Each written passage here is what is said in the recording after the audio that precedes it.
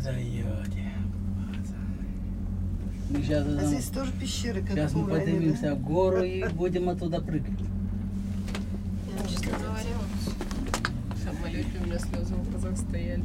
И я так боялась, особенно в Симферополь, Киев. Это первый момент был самый страшный.